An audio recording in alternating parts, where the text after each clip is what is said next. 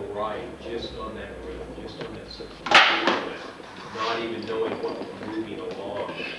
There's a move, there's a road to be taken, what's moving down that path, we don't care so much. And that's how you can do a couple things. That's how you can stylize each form, into what you want it to be. I like boxes, I like balls, I like simpler forms, I like lots of complexity. And how you can exaggerate and redesign the whole rhythm. Once you know the underlying movement of something, you can exaggerate it and play it down and still keep it correct. That's why, why you can have any style you want that's based on nature, there's that's not, very few. You'll find the same underlying pattern of thinking, and yet each artist, from Zorn to Whistler to Savoyan to Repin to Titian to Michelangelo to all these guys, they'll all have the same underlying information, the same uh, uh, fidelity to nature, yet they'll be radically different in style. They all, all these guys work on the same principles, and yet some, some would absolutely abstract them, some would be very faithful to what they see and everything. So let's stop there to our next set. Um, Gets more lumpy, gets more three-dimensional, becomes more about each separate form and not about grouping the forms. And so it's a much more complex and stilted idea. Every time you get started, you gotta stop and run into another form, another form, another form. Whereas the stretch side, ten- things tend to blend together. You stretch the rubber band, all the wobbles go out of the rubber band. So the stretch side gets longer, more graceful, more grouping, but flatter, doesn't give you volume. But we can group many forms oftentimes together rather than having to separate each of them out. It's a more uh, unifying idea.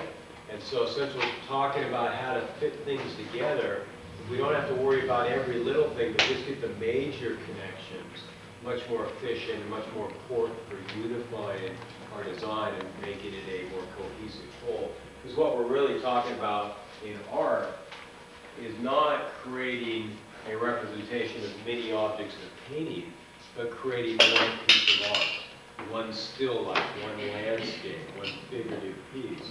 It's to unify all those elements.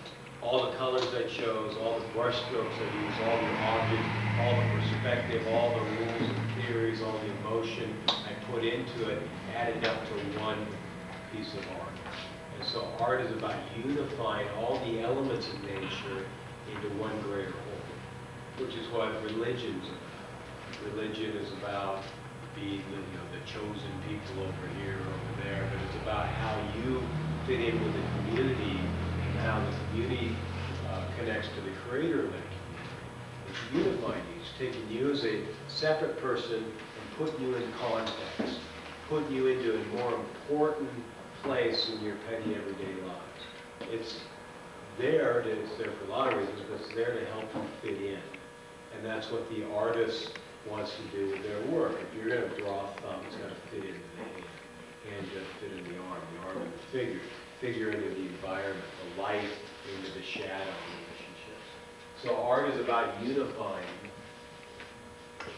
And so if we can start by grouping more together, telling us how it works together, we're right in line with our real purpose.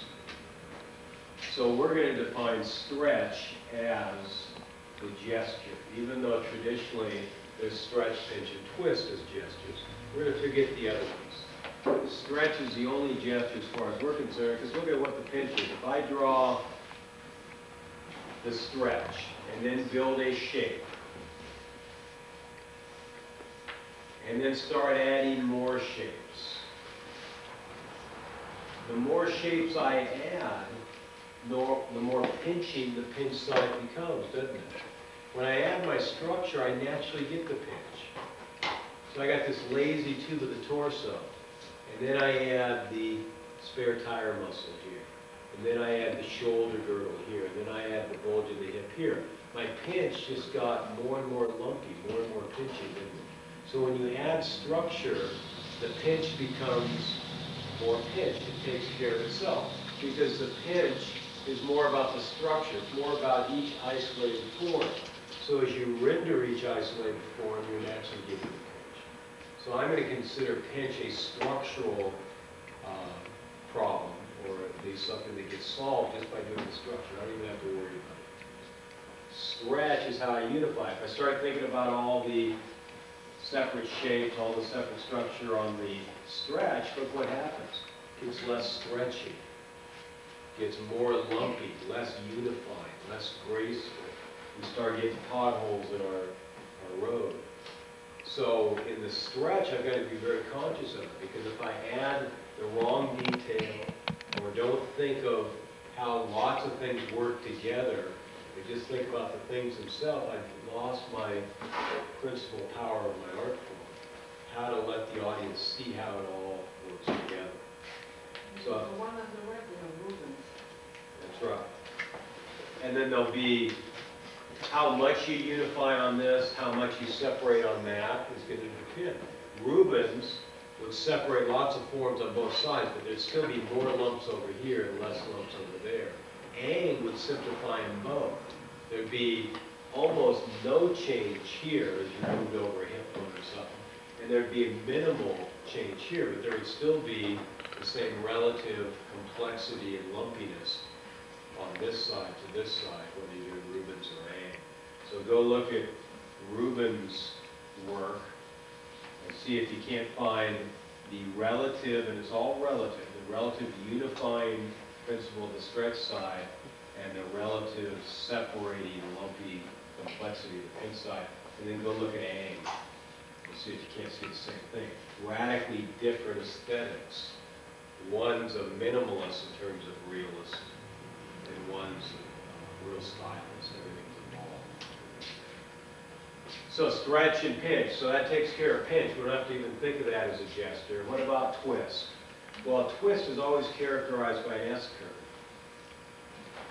One of the ways we can call the stretch is a bulging line, and we could call the pinch a binding line. It might be just a slightly uh, concave tube, or it might be a real lumpy series of A's.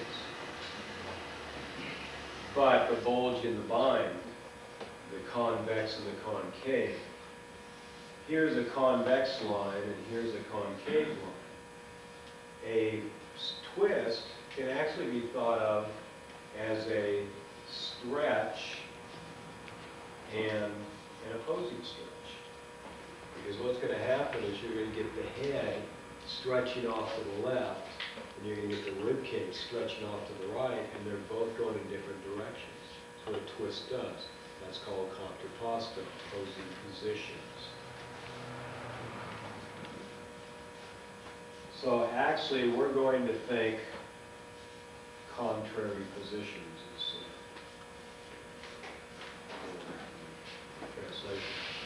uh. So think of a twist as two stretches put together. It's just a stretch going this way, and a stretch going that way. And the, the easiest way to think of it is rope. The fiber starts on this side and ends up on that side. Or the rib cage starts on this side and the pelvis ends up on this side. And when you connect the center of the pelvis to the center of the rib cage, you get an S curve. Two opposing stretches. That's what we want to use as a twist. So the twist is not a brand new gesture at all. It's just the same old stretch, just uh, mixed and matched. If you, the other way to think of this is that instead of as two opposing stretches, you could think of it as a stretch, a left-facing stretch and a left-facing pinch too. And that'll explain any other S curve. Because if I look at a, a contour, you're going to see a rise and a fall. Bulging, binding, convex, concave. And so as we move down whatever form, this will bulge out away from it and this will bind back in against it. In fact, that's the design of the whole body. If we look at a profile,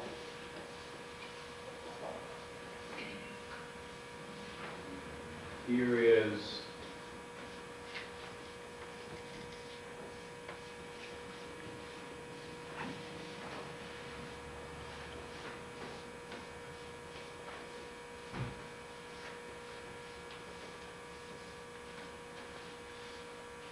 stretch, pinch, stretch, pinch, stretch, pinch.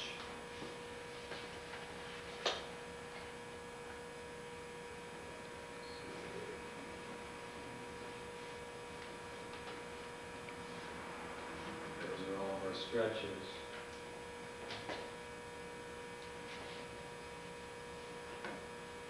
Those are all the pinches. Every time you go down from one structure to the next,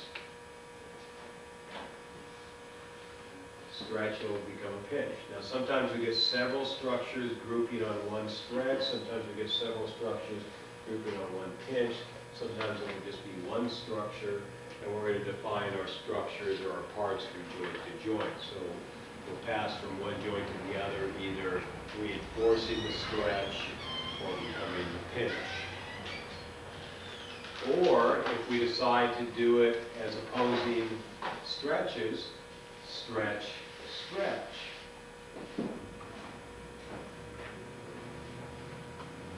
Stretch, stretch, stretch, stretch. Go to the back side of a, of a pinch, and you got a stretch. Go to the front side of a stretch, you got a pinch. So I just how you want to play it. But since I want to keep in mind in my art that life is water, that life is a wave. Sounds like I'm about to write a poem.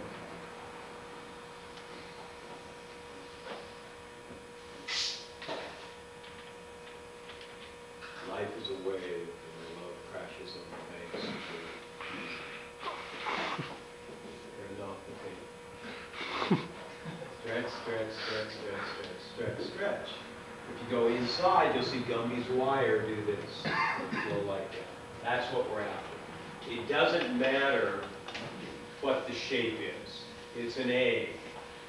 It's a box. It's two-dimensional. It's three-dimensional. It starts out as a box, ends up with an egg.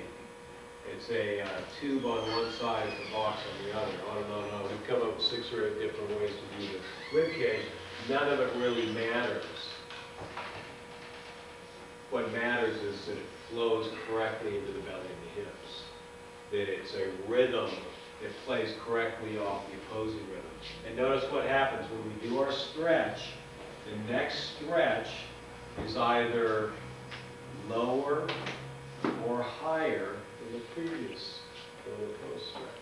Now, if we have nothing else, it ends, but stretch, and then we must have a stretch that's not right across, it has to be lower or higher. If you get your stretches right across, you get muscle bound. Is muscle bound can't move very well because this lump gets in the way of the other lump, and you can't, can't do much with it. So if this is a high stretch, the next one will be a low stretch or vice versa. And that way, we get this piston action. One area relaxes, the other fights gravity. And then that fights gravity, this relaxes, and you get the, the working of the muscle in this movement, this dynamic leverage movement, but also it keeps that water design. So it's functional. Now, since we've got a watery figure, we're designing the figure off the wave action. It's designed off the wave action for one other reason, and that's because we're self-contained mobile units. We can get around.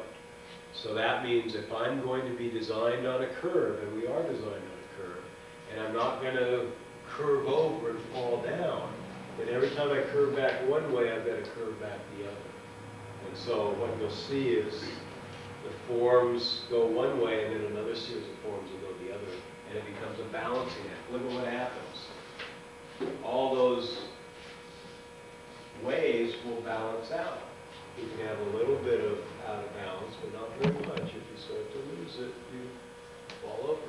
And so since we're self-contained creatures, and since we're designed on that watery curve, the wave is the only way you can balance it out. It's not only water, but it's balance.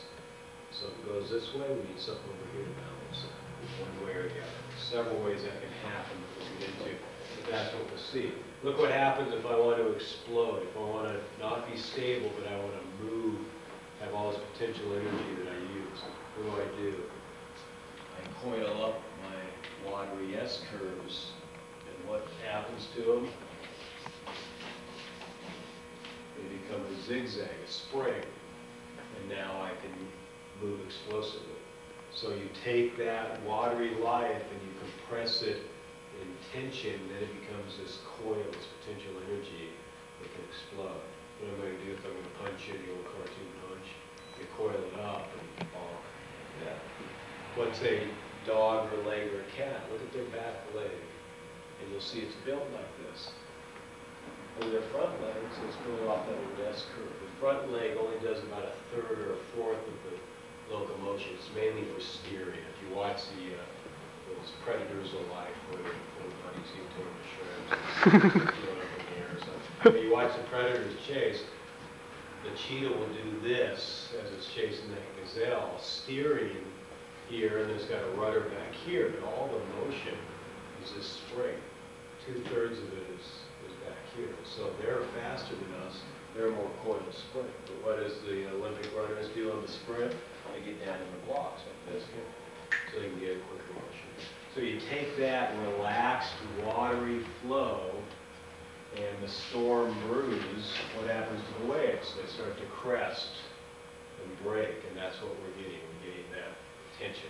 So the S curve and the zigzag are actually the same idea, the same watery design. One is life and tension, the other is life and relaxation. So let's stop there, go our next set, and then I'll give you that, uh, little art history lesson. Okay, so we're after that watery wave action. And when we look at the twist,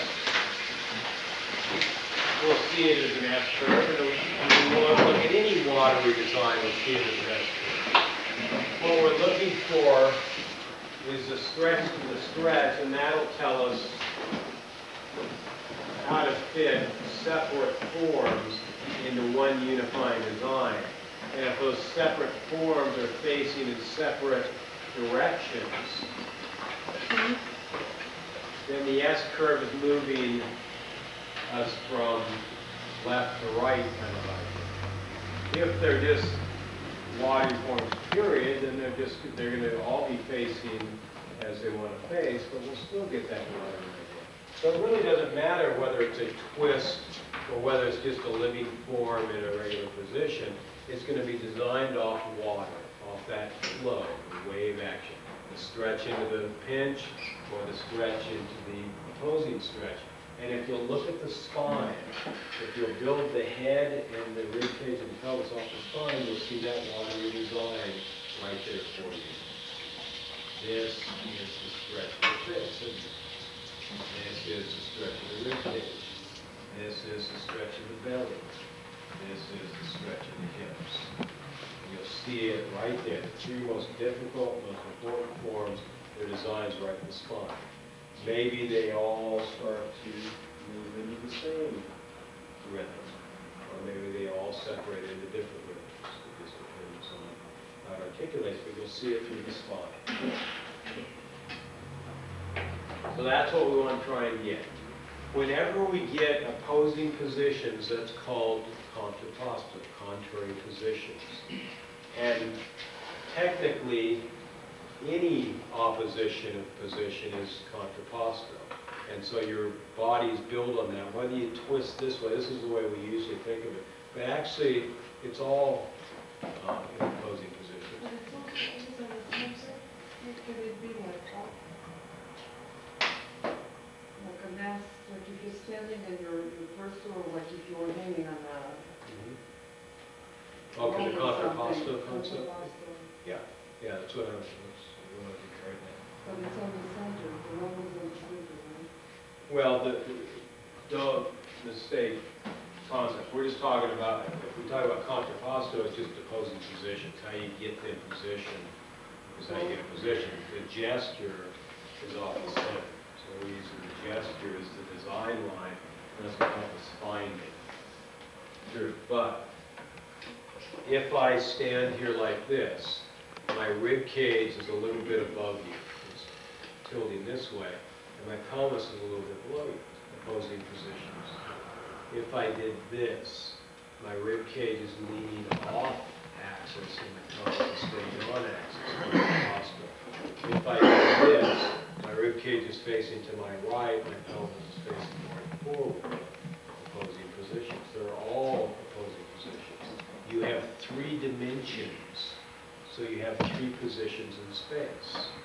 How it faces, how it leans, and how it tips. All of those are. Usually we take these others for granted, and we talk about this talk talk about but it'll, it's really any of them.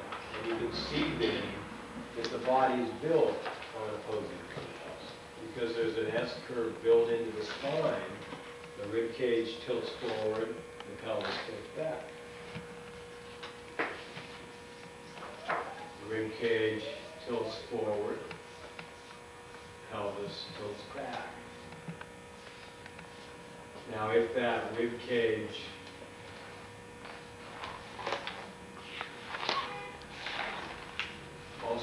slightly torques, we're getting a little bit of the front of the ribs, we'll get a little bit of the back of the hips, then we'll get also a a twisting that way. If the rib cage falls towards us and pelvis falls away, we'll also get a dynamic that way. So there's all three dimensions. Now, on the, uh, in terms of those dimensions, if you follow art history, you'll see them all develop separately.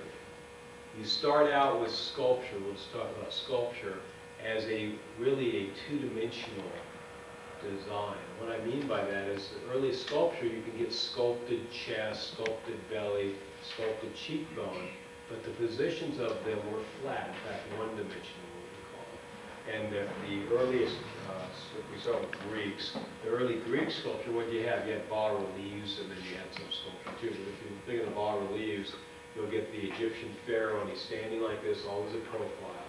Why they do the profile? Because the profile is the most descriptive silhouette of a face. Nose pushes out, lips push out, chin goes back to the connecting neck. If you think of a head, its most characteristic view, if you're just going to do a silhouette, would be the profile. Well, what do they do to the eye? The most characteristic view of the eye is the almond shape of the eye. So they gave us a front view of the eye.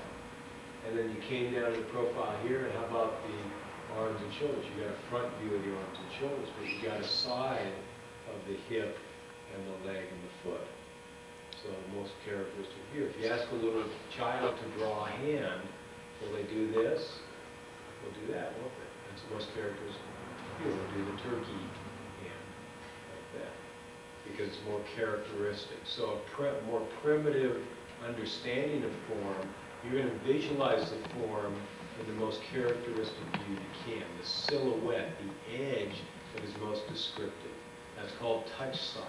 Touch sight is how far away before I bump into something, how far away before I touch the cold water, before I take a step, before I hit the Mack truck. That's how you survive in life, is knowing exactly how far away before you touch the edge of things. So as a human being surviving in the world, from the earliest age, you're taught to think in edges. The little mobile over the baby's crib, what's that do? It teaches them that they're separate from the world, that they have to reach up a certain amount before they touch. So when a little baby learns to walk, it's getting these things to work right. It's also knowing how far below is the ground, how far away is the coffee table. making those spatial decisions, learning to separate you, and the way you do it most efficiently is from edge to edge. So we spend our whole waking hours thinking of the edge of something.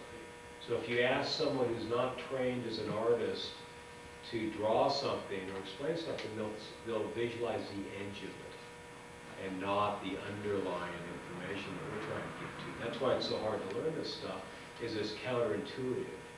You're gonna spend twenty-three hours a day doing touch sight, you can spend one hour thinking of being an artist. It doesn't balance out, it's a habit that's hard to break. So, what we had that in early sculptures, the bas-relief uh, pharaohs were like this, and this did this, and then there are sculpted pharaohs that were full sculptures, they were designed to be seen front on. They were oftentimes set in alcoves, or they were sculpted in the rock, and they were face forward, they were sitting on the throne, on the Isis throne, Horus was, or whatever it was. Very front, very formal, uh, very realistic, stylized, but very realistic but they had a one-dimensional pose. They were meant to be seen from this. The early Greek sculpture is called Kouros, and there are these young boys, these athletes that are sculpted, freestanding sculptures, and they're standing like this, with very few variations of it. And they're looking straight ahead, and they're meant to be seen this way. That's one-dimensional sculpture. The form itself is sculpted in the round, but the position is meant to be seen front on, one-dimensional. Now, if you look at the uh, Greek sculpture that we uh, think of and generally love so much, the Aphrodites and the Bacchuses and Apollos, you'll have Aphrodite or Apollo, they'll have done this. And they will have taken this weight, and rather than making it symmetrical and balanced, they will make it asymmetrical. And as soon as you get asymmetry, asymmetry, you get the watery movement now. So our bodies are designed on water, but it took them quite a while. It took them to like 350 BC or so before the poses were designed on water. As soon as you do this, you get that watery design. You get contrapposto opposing positions in the pose because one thing's working at a different level than the other. One's working hard and the other's relaxing. As soon as you do that, you throw asymmetry in it, everything else has to adjust to balance. Because if it just does that, you'll start to fall over. So it's got to balance out. So if I get the, this supporting, this hip gets higher, this gets lower, usually what will happen is this shoulder will get higher, this will get lower, and then Bacchus will be like this, or it'll be holding some grapes, or a cherub, or something like that. So these can break out and do their own thing. But the overall movement of the pose and the support system will be based now on this opposition. This is working, so what happens? We get a stretch now here. Oh, and then where does that stretch in? Ends at a bind. And then what happens is stretch again. And you'll find the interesting thing about this lottery idea is every stretch will end in a pinch. It might be a really lazy pinch.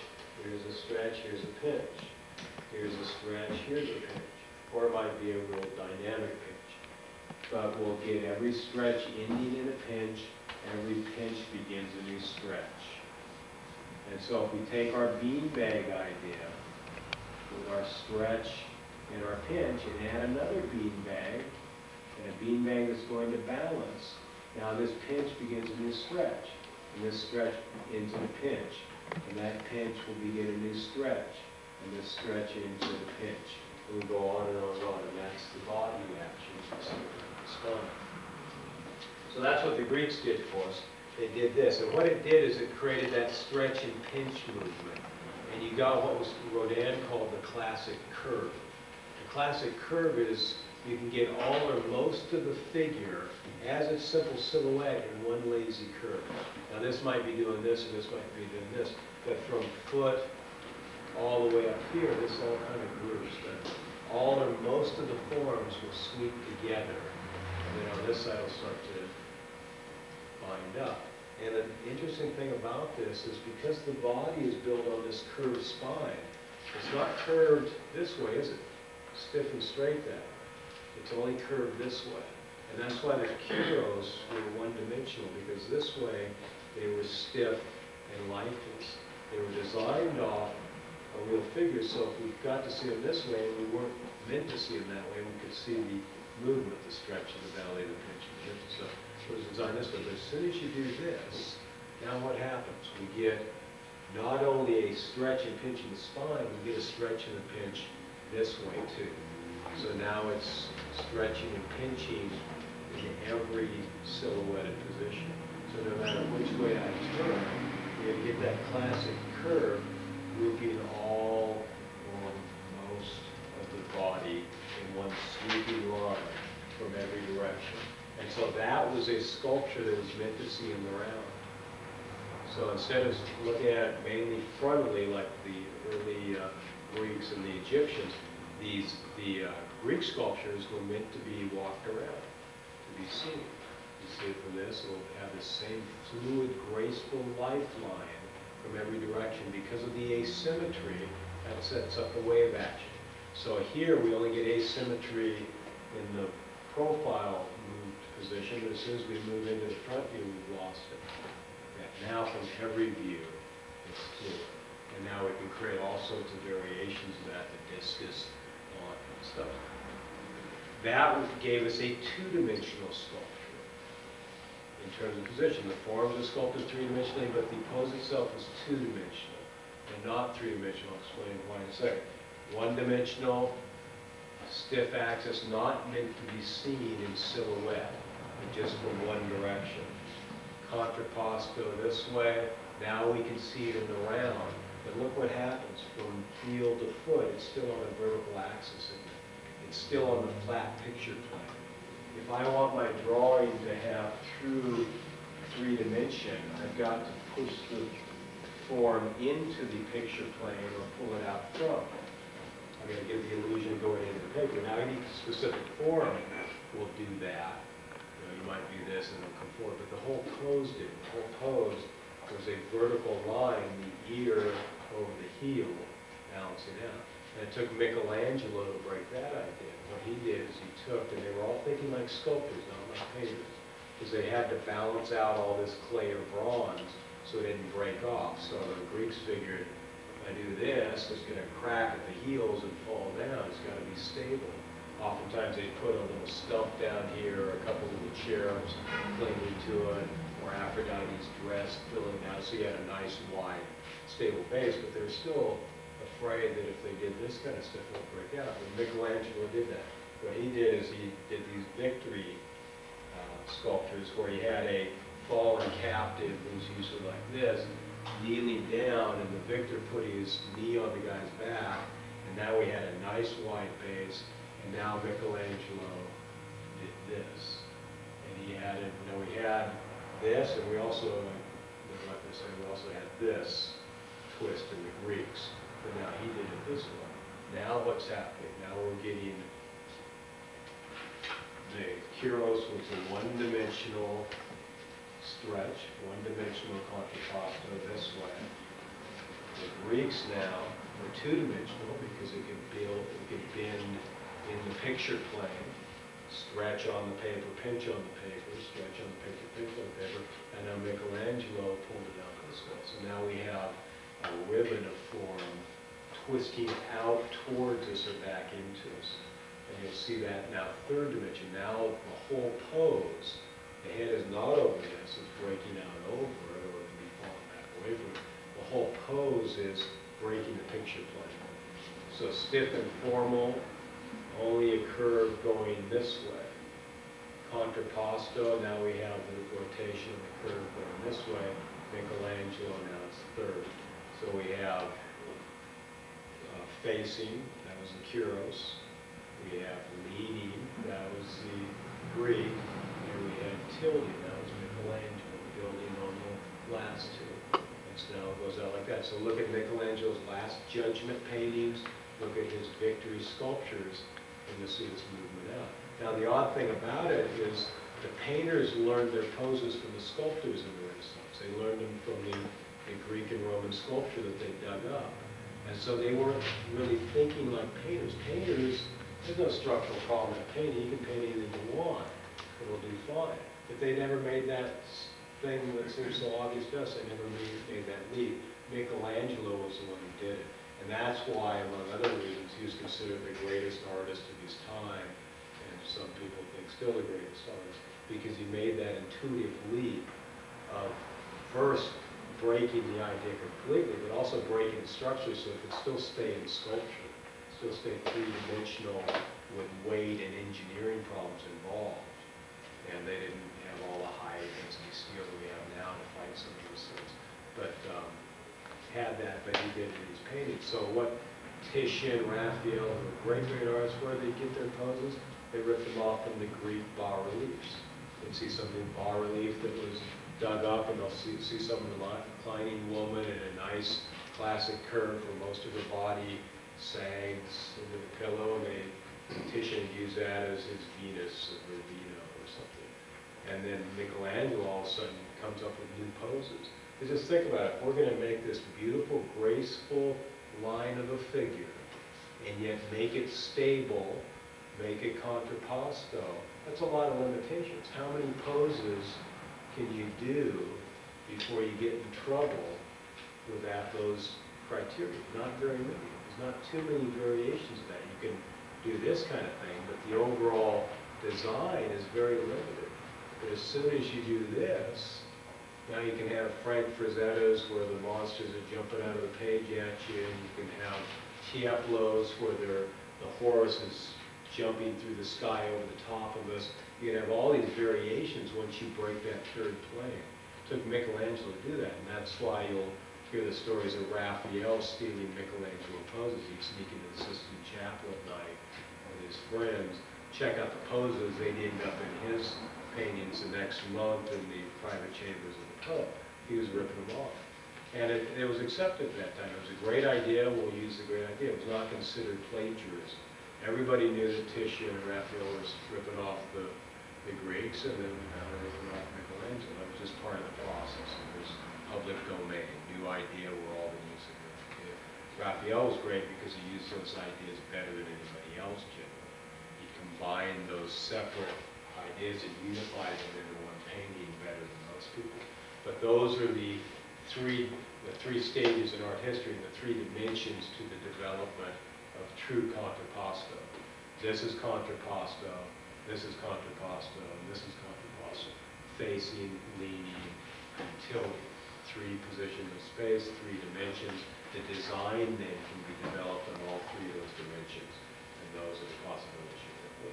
So let's do our last uh, set now. Let's just do five fives.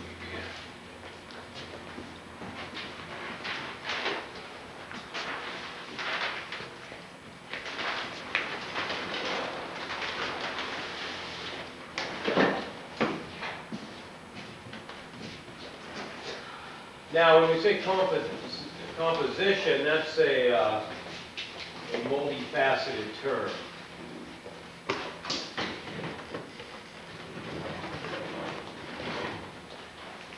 We could break it simply into the tonal composition.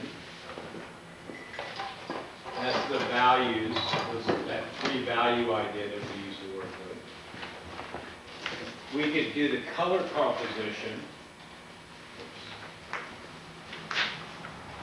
That's on top of those values, the color key, the dominant colors, the uh, light source dominant, a night scene, or it's all going to key off yellow, that stuff we were talking about. And then there's a third one, the drawn composition, we'll call it.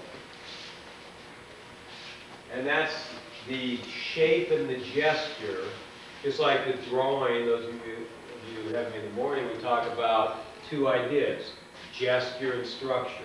The gesture is the fluid lifeline, how the forms connect gracefully and in a lively manner.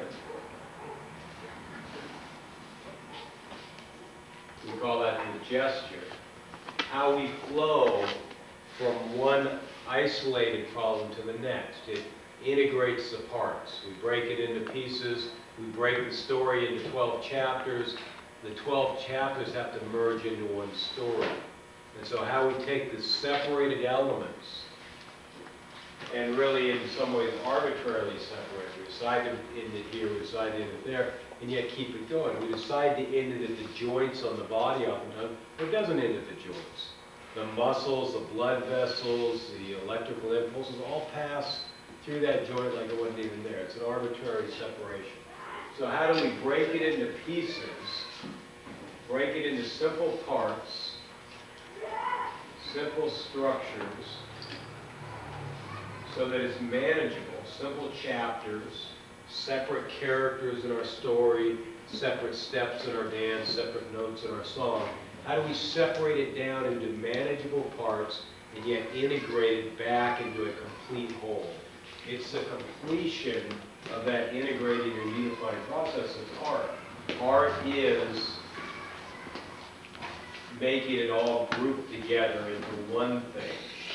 Art is the unifying idea, it's the oneness of it, you want kind of a new agey term. It's how you make all the pieces, all the muscles into one figure, all the peaches into one still life.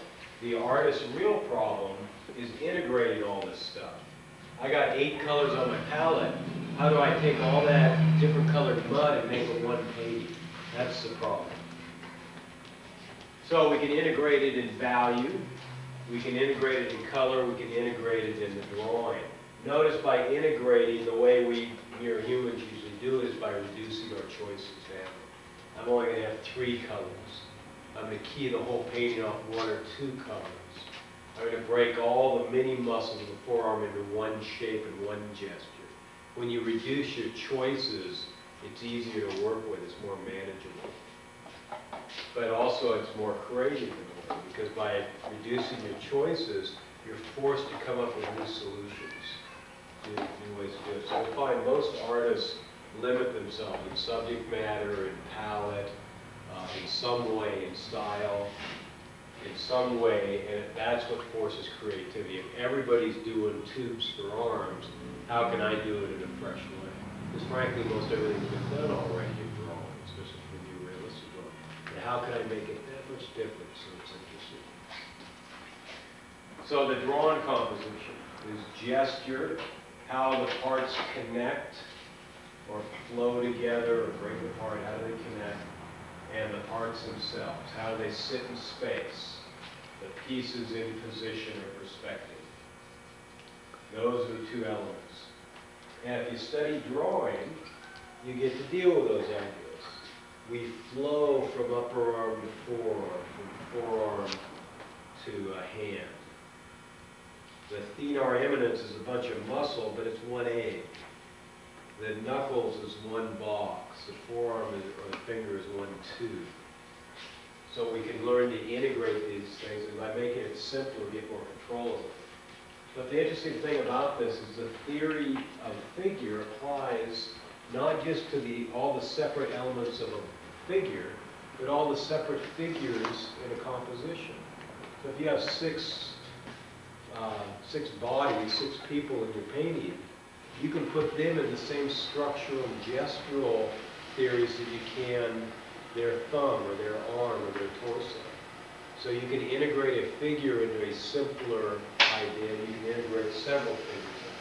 The composition is taking the same ideas of integrating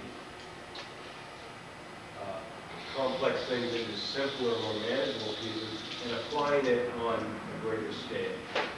And all this comes just from the Greeks. What the Greeks did is they started to observe nature systematically. It's where we got the beginnings of our scientific method, the beginning of science, of studying biology, the nature channels based on us interested in how animals behave, study horticulture, math, music, all that stuff really systematically began in terms of the way we think of it with the Greeks. And what they did is they looked at nature and they said, well, nature, we can take the sky and we can break it into a bunch of stars. We can take the tree and break it into roots and trunks and limbs and vegetation.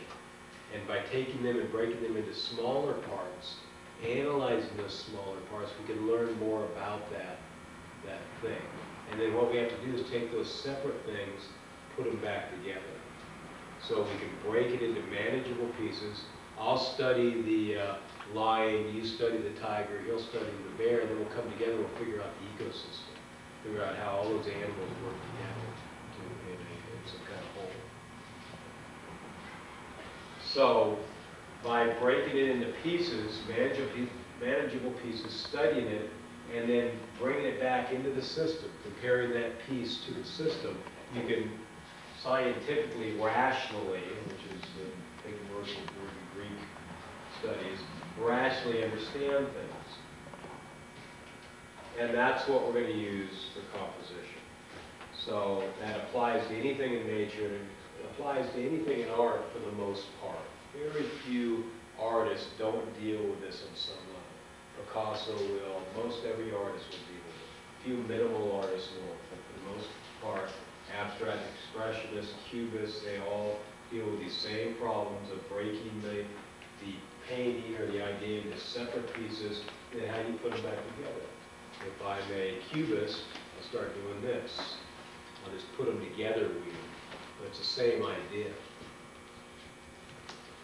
So what we're gonna find then in drawn composition, we can have these ideas in it too, but we're gonna break it into these simple ideas. So we're gonna see how the parts uh, flow together off straight lines or alignments and curved lines and alignments.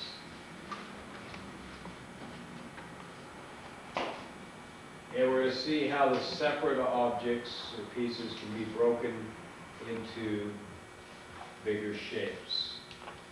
So we're gonna find the isolated objects grouping into bigger shapes and the isolated objects group, uh, grouping into bigger alignments, bigger rhythms. That's gonna be the basis of what we do, because that's the basis of what we do when we study a figure. So I've got a finger with three pieces, but they happen to line into one curve, or they line up into one straight, or they break into three corners. And then each part has its own shape, it's called each tubes. So that's gonna be how we work from. So we're gonna start on that next break. I wanna give you one uh, definition of composition in general first. When we say composition,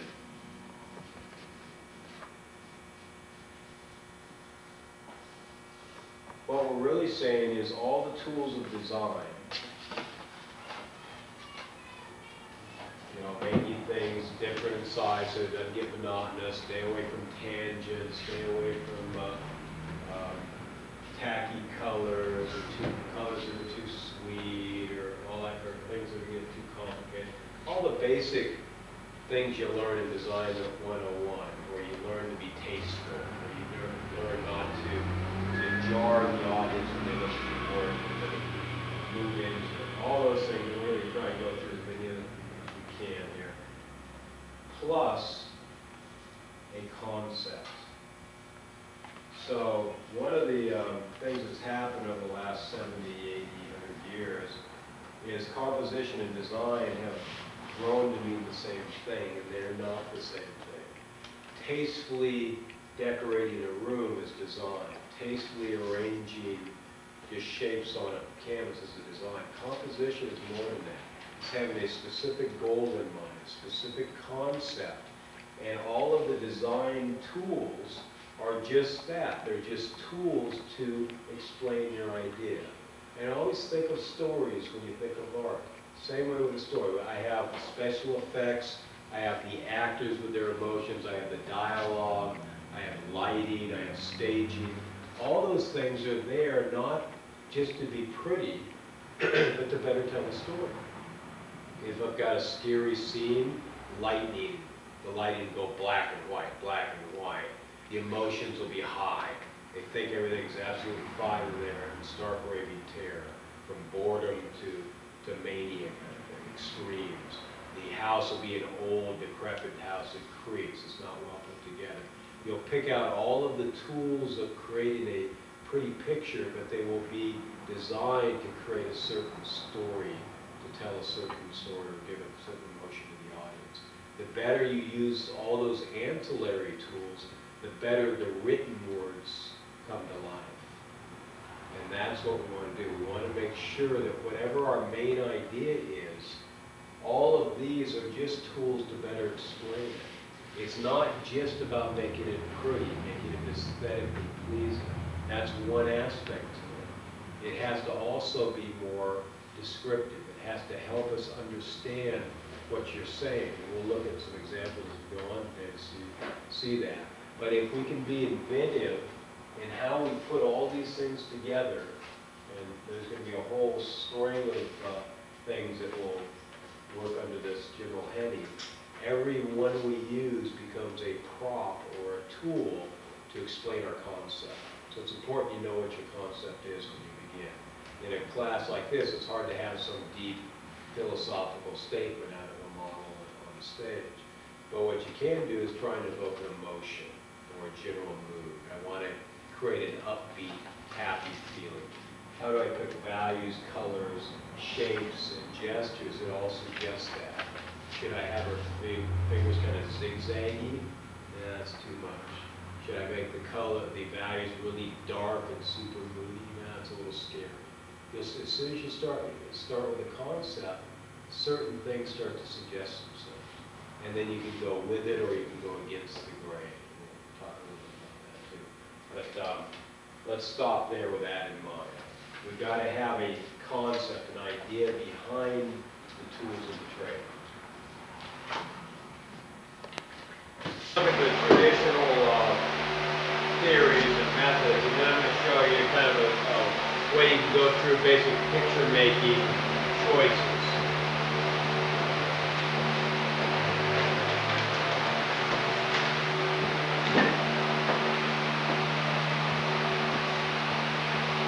Now, what we'll find is that the picture, whatever it is, and however many elements are in there, the overall design or composition is going to be based on the shape or shapes, and we're going to call the gesture the alignment of the shapes. So you can use whichever term you want. The alignment is a little more suggestive. What we'll find is, quite often the shapes will group into the same kind of shapes that we as choices for drawing the figure. You're gonna find boxes and triangles and circles. And notice that they're two-dimensional versions of uh, wedges and tubes cones and spheres and egg shapes. So when we're doing the figure, we might use an egg for the head. Well, in a Raphael painting, you might still use an egg for the head, but the whole figure might be grouped into some other shape. And we'll see these shapes. This is probably the most commonly used shape, because that's probably the most commonly used shape or commonly seen shape in the figure itself. You want stand there for a while, what do you do? You get into a stable position, you get a wide base, and you get a narrow top. So if I sit like this, let's shake. Triangle, kind of a sailboat. So when you look at a figure, quite often,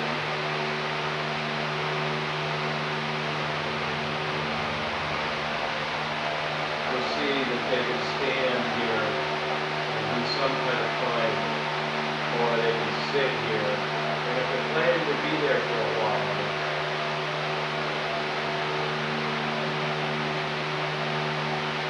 this triangle. And of course, if he's on a stool or leaning against the wall, then that would be part of the colors. Part of the shape. So we'll see that kind of. So when we analyze poses, how the person can stay in that position for a certain length of time, we'll see these shapes develop. And the more stable the shape, the longer they can stay. Let's take that same shape and let's reverse it. Now I can't hold it long, I'm not as stable. If I get on all fours, it might be a box shape. If I fall up in a fetal position on the ground, it might be a ball shape. You'll tend to see these, and then since they're organic, you'll find that each side of it has a certain uh, personality to it. You can find some curved, some straight, some bulgy, some binding, those kind of things.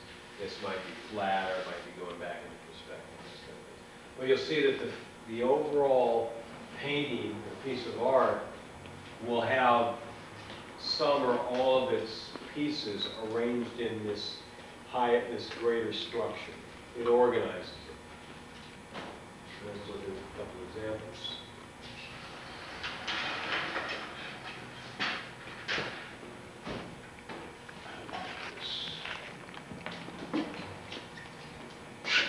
I have a landscape here, you should look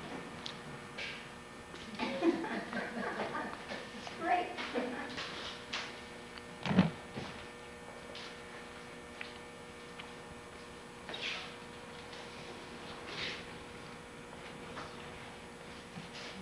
So almost any portrait you'll ever see, and you'll find that. And look at almost every Madonna and child you'll ever see, you'll see the same thing. Can you see what shape this is? It's a triangle. Now, that's the design choice. It made it a more pleasing, cohesive whole.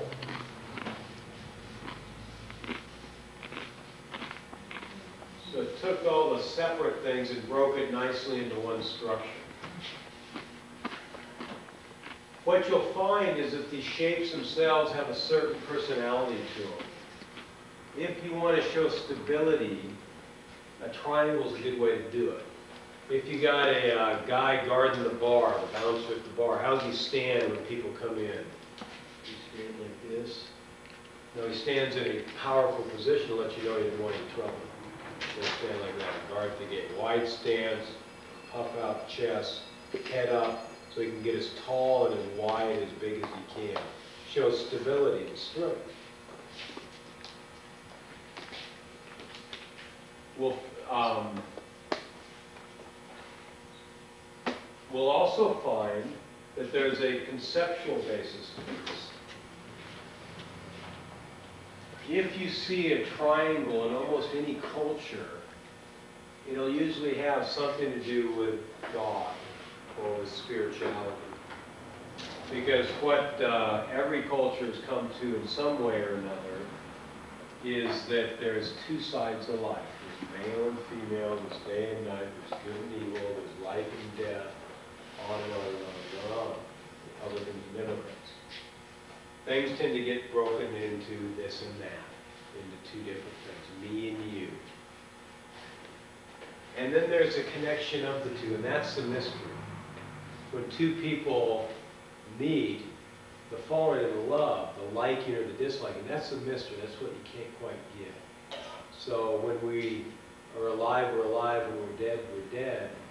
How do we get from one to the other? How do I breathe and be conscious and go to that point where I'm? If I've got the God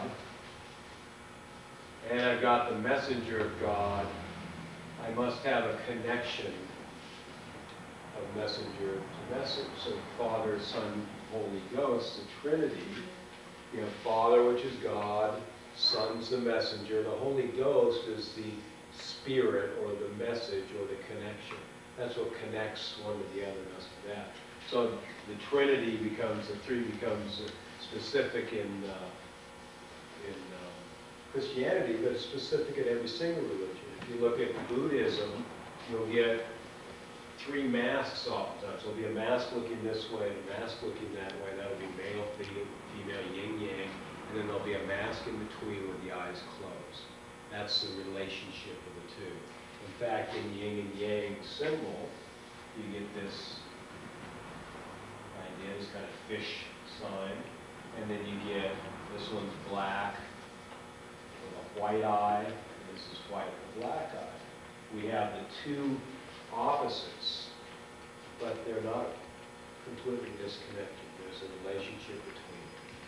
A little bit of ones and the other, a little bit of females and the male, a little bit of males and the female. The connection is that third side. So three has become really the magical number in almost any age. And we'll find if we wanted to compose off one other thing, we'd compose off numbers, numerology.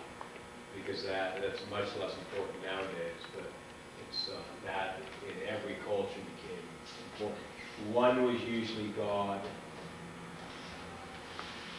Two was the duality of life. Three was uh, the duality of life connected back to the spiritual, the physical back to the metaphysical.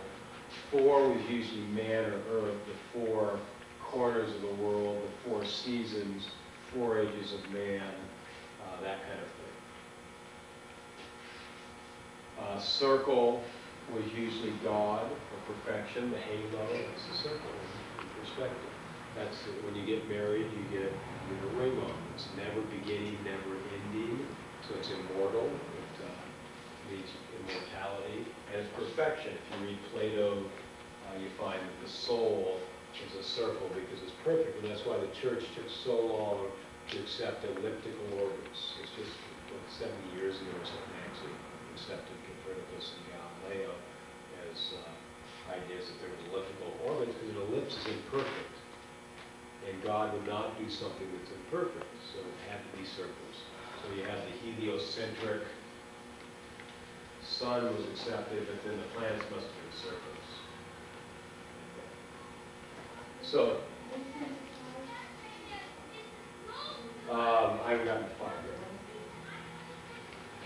Five is uh, oftentimes man, actually, because we have five points to us, five senses, those kind of things. And then uh, everything else becomes multiples of these. Four, we did, or I mean, six uh, is three times two, or three plus three. Nine is a big one because that's three times three. That's a perfect number. Usually, that's the magical number of numbers because it's God squared. And if you take nine, it's magical because nine times anything becomes nine. Nine times one is nine. Nine times two is 18. Eight plus one, you always reduce it down in these mystical things, comes nine. 63, which is a root of nine, six plus three is nine. 72, seven plus two, 54, 45, they're, they're always nine. And that's a great sign for this mysterious being behind everything. Behind everything, he's always there.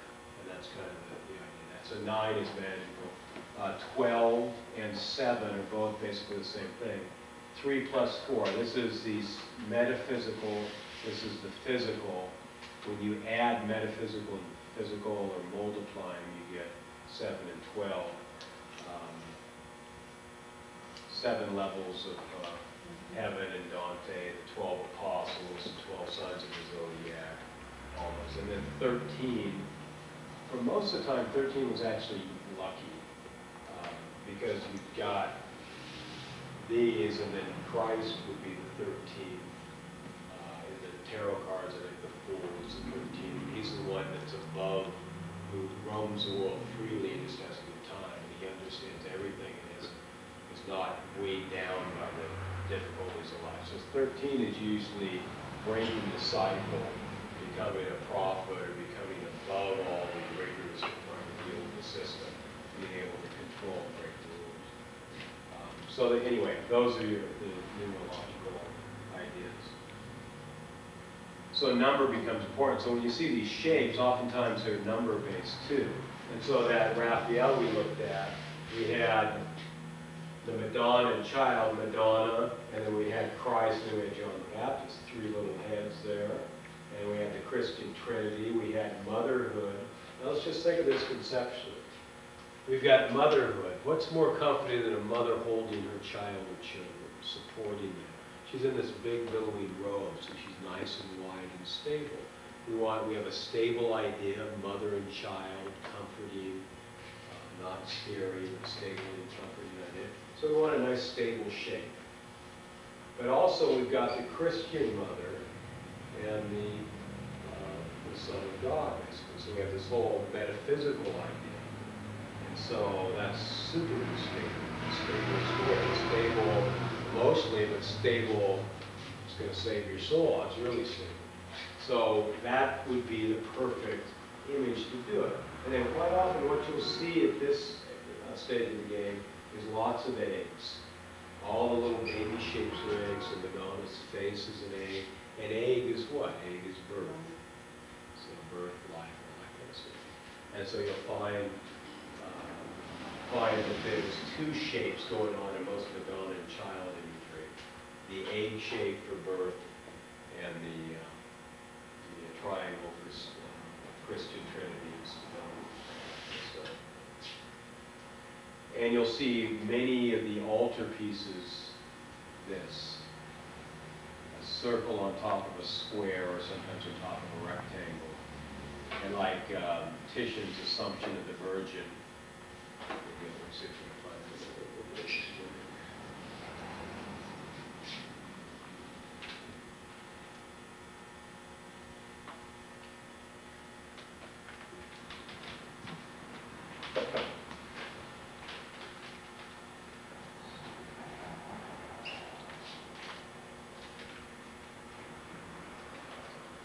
So watch out for the next time, too. Um, But we'll see all sorts of neat things of all three of these shapes used actually. Um, Just so you know, once you understand these rules, you can go against the grain. Notice that the triangle also is an arrow that points up to God. Well, actually, let me show you the, I'll dig out the extra pages, I'll show you a way of playing with these ideas, so it's not so typical on the next break. So let's stop there and do our next set. After, this was common knowledge. Just like, if you start reading a poem about a road, you probably know it's a. It's pretty common knowledge, and so this was a, uh, thank you, this was a um, visual set of tools that everybody was common with, and so the artist had access to. You put up a cross, put up a Star of David, those kind of things. Most people would get a sense of it other than just a geometry or aesthetic idea. And so they had these incorporated in them. And the theory was, even if they didn't, it was, it was uh, subliminally there. They would pick it up on some level. And that's kind of the theory of these things. Uh, color also has symbolism, and it will vary somewhat from society to society. Some societies, green will be rot, decay, death. Others, it will be renewal, growth, potentiality. It depends. Yellow might mean sickness, or yellow might be sunshine and daylight, purity, and life. Uh, gold tends to be immortality because it doesn't rust. Silver and the moon usually associated, those kind of things. Um, Blue is usually the water or the sky, so it's mystery, it's depth and mystery. Um, Purple, or let's do red, red is usually either blood, uh, as in uh, violence, or blood as in passion, lust, life, or blood, uh, red the passion, Christian, is red for that. If you put red and blue together, light and the mystery, you get royalty because kings and queens in the early cultures were ordained by the gods. The Pharaoh was the god on earth, and so the kings kept their power partly by working within the idea that they were God's chosen. And so you've got the mystery of God in the blue sky above, and you got life's power, life blood. Put that together, you got the king in the purple. So there's all those kind of things. Now, admittedly, at this, in this day of age, they have fairly weak power for us. They're fun to know. They're mainly, at this point, you to illustrate the idea that these things are tools that you can create. So the bad news is, nowadays, as opposed to back then, things change every five, six years. Art movements, there's really no art movements anymore at all, for the most part, but you watch the history of art movements, the Egyptian art movement lasted two to 2,500 years before there was any significant change at all. It was a little blip for a while, and then it went back to the same old thing for another 500 years or so. So for three or 4,000 years, It never changed. We don't even hardly know any of the artists, a couple of them we know by luck. But for the most part, it was one style, it was a house style that lasted three thousand years, let's say. And then as you move on, society will start moving quicker and quicker and quicker, and pretty soon it will last just a couple hundred years, then a few decades, and it'll keep moving on. The uh, High Renaissance lasted 50, 60, 70 years, and you had the Baroque, and you had Rococo, then you had the Romantic movement, then you had Neoclassicism, then you had uh, Impressionism. It just, and everything started moving quicker and quicker. Impressionism, the Post-Impressionism, Dadaism, Futurism, all this kind of stuff. And then pretty soon, it was just a year or two or three or four that they last, then they were gone. So it's sped up, and so what we have now is a society that moves so quick, these icons don't have a lot of meaning. If we do the triangle, they're not gonna get that this is a, a prayer shape to God, and if they do, it will be a purely art historical idea, it won't have the emotional impact. So that's the bad news. But the good news is, if you can keep your audience for a while, you can reinvent, re, uh, reinvest it with power, or come up with your, your own metaphors for shape. And that's what they've been doing in movies. You can do that if you have a show, or especially a series of shows, you can work with an idea long enough, they'll get the idea. And what they do is they end up stepping into the world you've created, and if you can suck them in long enough and powerfully enough, they'll take on, uh, they'll accept the message you have. And that's why Star Wars movies and Matrix, they have these underlying messages, people get into them and they think there's a force and there's gonna be a Yoda out there, and they buy into that stuff. If not purely intellectually, emotionally. If they don't believe there's one, they wish there's one. And those are the powers of myth and metaphor. So if we look at uh, film for a second, we'll find that film does exactly the same thing. In fact, film's great to look at because we're usually, as a culture, a lot more familiar with the mechanics of film than we are with painting. We don't spend that much time. If you go to a, a show that you like the artist's work, if you come here and you like the work, how long did you actually spend, even if you absolutely love the painting on the wall, how long did you actually spend looking at any of these paintings? You come here week after week, at best, I got you for a couple minutes. If you come back four or five weeks in a row, maybe I got you for ten minutes. If you like it so much you want to sketch it in your book, maybe fifteen minutes. If I can get you into a movie, two hours. If I can get you into a novel, two to six hours, I can hold you for a long time. They're more powerful mediums in that sense. But film is interesting because it took all the tools of picture making from painters and applied it to film, and all they did is added editing. That's the only new form that goes into that. Everything else is the same. And They use the same ideas that we're using here. If you look at Alien, movie Alien and uh, the second one, Aliens, what was uh, the shape that they used the most in Alien? Egg. Now, what did egg mean for Raphael? Mother, her, mother was used for the head, used for a lot of other things, but it, it meant motherhood, life, birth. Now, what was the concept of those little nasty creatures? They had a birth, didn't they? But it was a horrific birth. And they stayed in these little eggs until you woke them up and they jump on your face. But it was a horrific birth. And what was the second movie about? The mother alien was trying to breed its young. Sigourney Weaver adopted this little uh, orphan child. It was two mothers fighting to protect their young. It was about motherhood. Those, both those pictures was motherhood, motherhood and birth. And if you go through them, you'll find egg is in there. And also the very first scene, when you wake up in the ship, what color is the ship painted, if you remember? White. I didn't see it, that's all I don't know. Well, go read it tonight. And we'll sleep. It was painted white. They got out of their, their stasis, they were in suspended animation, they got out of it in these diapers. White little diapers on. They were on this round console that was in perspective they began. The ship's computer's name was Mother. The android that was in there had milk for blood, white milk, eggs for birth, diapers for baby, babies, mothers for ships. Everything they could do, they packed in that was any kind of relationship to mother, birth, egg, life. Exactly what Raphael did, but for completely different reasons.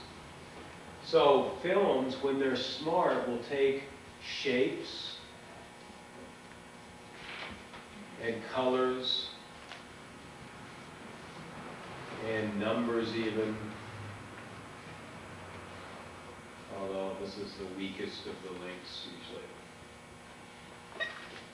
usually. And use them not as design, not to be pretty, but to help tell the story. If you think of uh, uh, Fatal Attraction, I'm giving all these horrific films. Fatal Hor- Attraction, they met in the rain. She tries to kill him with a kitchen knife out of the sink. She goes into the bathroom, slits her wrist. She parboils her buddy and she dies in the bathtub. Everything that bad happened in that movie happened with water. Now, water is usually life, but they use water as a metaphor for death. And so they use that in the film as a visual tool. One other nasty movie that's bad, Godfather. The opening scene, that whole, all, all three of those films, the idea of the film is family. It's literally the family. It's a dad with his children, but it's also the mafia family. So it's family in two senses. But the opening scene there, they have them lit overhead. Marlon Brando's behind his desk, lit like this, as a guy asking him to kill somebody, and his daughter's outside in the sunshine getting married. And he's in this dark, somber room. It's all earth tones. Every time you're in the house of the Godfather, earth tones. So the family colors are earth tone colors. And he's lit, above, he's lit like a skull. He's- He's got shadow, shadow, shadow, shadow. And the whole film is, is built on the death of the family. Every decision he makes sucks his kids into it, his kids get killed, he dies, his youngest son ends up being worse than he does. Every decision they made destroyed their family. That's called a theme. When you have great art, you'll not only have the subject, Godfather, Mafia, you'll have a theme underneath it. Not just a haunted house. Aliens is a haunted house, there's a monster in the haunted ship. And he's walking around eating people. Frankenstein or Wolfman or Dracula, it happened to be alien. But the theme was birth and motherhood. So you might have a cop show, but the theme might be man's inhumanity to man, or you have to, to beat a crook, you have to get, be as bad as a crook or something. You can have some underlying message that's the reason that you do the art, actually. Because remember, art, the real reason to do art, just like the real reason to have religion, is to tell us why we're alive, what our life means, how we fit in. And so if you're just talking about a love story, you're just talking about a shoot 'em up or a horror film, it might be a diversion, but it's not very important. As soon as you leave, you forget it. But if it talks about how to live, that you have to get in touch with the good side of the force, whatever it is, it's going to touch not everybody, but some people. It will have an effect on you. So the great art has themes, and the theme is what gives you the concept. If you want to deal not with aliens, but with motherhood, mother and child relationships, and it didn't do it very well, but it, it was there, then maybe we'll come up with shapes to support that concept. And all of a sudden, decisions start being made for you. If you want to talk about how love's immortal, maybe you'll use this is a predominant color. Maybe she'll have golden hair, and they'll, uh, walk around in the sunshine of the golden beach, or whatever it is. Or maybe you'll go against the grain. And real quick, let me show you a couple of inventive ways to do this back in, uh, in paintings now. I'll tell you one, and I'll show you some others. There's a um, Leonardo da Vinci painting of, of uh, John the Baptist, and he was the messenger, he was foretelling that God, Christ was going to come down, all that kind of stuff. And normally what you do in a portrait is you do this. It's a nice stable image, holds things together. And you've got a naturally bigger body than a head, so it works naturally was what you had. What uh, Da Vinci did, he was the first one really to organize objects into shapes, into greater wholes. He's the one who started this whole. And what he did is he had John the Baptist and he had, and let me see if I can remember, he had a staff like this, and, uh, oh, he had a staff like this, holding like that, with a little cross in the staff. And he was standing like this, like that, and this arm went this way, and he was looking at us, and the staff did this, and the arm did this, and and he went down into darkness, so you didn't see much of this, and he was a reverse triangle. Now, why was he a reverse triangle? Well, we've got Madonna and Child, the message is on earth trying to sway us, but he was telling us that the message was about down. That he reversed the concept, pretty inventive. Let's make a stable image, let's talk about how God is on earth, let's talk about the church as this pillar, this mountain of support and stability, or let's invert it and say the message coming down. In fact, if you do the Star of David, that's exactly what that symbol means. The powers of heaven facing up, or the powers of the earth looking up, the powers of heaven coming down, and they meet in perfect harmony. That's a Star of David symbol, which is this. So it's, it's heaven and earth coming together. Another one is Rubens. He has, I tried to find the page, I couldn't do it. But he's got this army of people killing these poor citizens, these soldiers, these poor citizens. And it's literally a wave, uh, not literally a wave, it's shaped into a wave of destruction. It's washing over the city, killing these people. And it, as soon as you do that, it creates this beautiful gesture to this horrific scene. It has a thematic meaning, a wave of destruction. It's a metaphor, and you can start reading into it. Well, a wave of destruction washes over everything indiscriminately, wipes it out. But also a wave washes back on itself. So these guys are going to get their comeuppance later on. They've washed over these people, and they're going to get washed over later. It's historical return kind of thing. It gives you, uh, it gives more depth as well as gives aesthetic unity. It gives more depth to the idea. Couple quick ones here. Let's, uh, tell you what, let's do our last set, and I'll give you these on our next break, and we'll finish it up on the, on the next week too, but I'll give you one more. And that becomes a real concept. So we have a subject, but in real art, the subject is just an excuse to talk about something deeper. In, in religion, you oftentimes have a sacrifice, somebody got killed. But the actual message is something much more powerful, much more spiritual.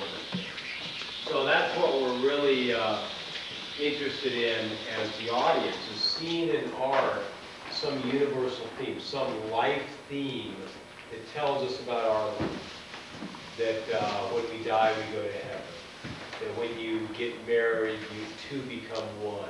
Some idea that gives you some, some purpose in life, some goal, some perspective on life. It's not about trying to catch the cat with the traffic light before it turns yellow. There's something more to it than, than that rat race. That's what people are looking for. If you can give them art that's just escapist, it's just Disneyland, it's just Indiana Jones, where you just go for a couple hours, you just have fun. You look at that painting and you just get a smile on your face. That's absolutely great, that's wonderful. But that's not our true vocation, it's not its highest calling. Its highest calling is to get you to that next level where your life means something. It's not just me trying to get a pension plan together, trying to pay the rent, trying to uh, have a support system in case I get sick. There's something more to life than that. That's what our religion, philosophy hints at. And that's done through the theme. So if we think of movies and stories, there's a plot. And then in the really good ones, there's a theme. And it may be something you can really pin down. The death of a family, that's a Godfather series. Or it might be something that's just vaguer, that just has a, this sense that you know there's something there and it just gives you a feeling. One way to tell, if you come out of the movie and you want, if you feel like, I wish I had acted that way in that situation, when you think about the hero, it was probably a good movie that had something powerful in it. It gave you a life lesson. So we have all these tools to do that then, all these different ideas. And so, um, let's look at a couple more paintings, and then we'll go into this again next week too. Titian is absolutely great for this. And let's look at a simple one. This is a dark one, unfortunately, and this is just the entombment of Christ. They're carrying off the dead body, and they're gonna put him in his tomb.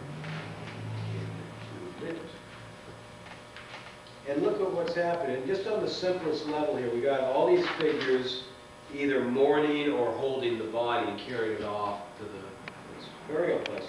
But look at how he's just sagging here. He's just limp with gravity, he's a hammock. Just carrying off, there's no life in him. So just the design of his body suggests lifeless. Just the design, now it's a beautiful shape, we get this kind of cresting of waves, yeah. I've never been able to understand in that particular painting, why his face is not accented. Let's see, well, there's a couple reasons you can do that. One, if you want it not to be about a personality, not to be about um, a uh, somebody you might run into on the street, it makes it more universal. You can hide that. It's also more dramatic because it gives, yeah, he's, his, his soul's gone. It's just the husk here. He's not a personality. So not only is it uh, Joe Schmidt down in the block of the butcher's station, we know it's not, you know, it's him, we kind of say, less surprise, it's Joe. I know Joe, he weird, but he's cool. Kind of takes you out of that touchy-feely moment. But also, in terms of what this body is, it's not alive at all. There isn't a personality there. The personality is through the face of the eyes. So if we want to hide that, the idea that it might be somebody, it can make it, now it might be you. That could be your body, that could be anybody's body. It makes it a way of connecting if it's not a specific character. So oftentimes they'll do that. But also it can just be a design tool where you, we don't want you to look here just in terms of rhythm. We want you to look here. uh, And the here. head would stop it. It could, you know, you might be able to tie in that, but that would be another reason. But look at, look at the drama, look what is accented. The hands that are being held, this one's held up, and you just